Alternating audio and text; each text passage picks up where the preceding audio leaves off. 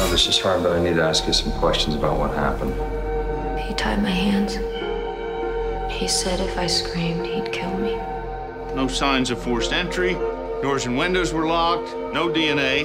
Not a single neighbor saw or heard a thing. That could threaten our entire solar system. All life would be destroyed. We're counting on you to find out what's happening out there.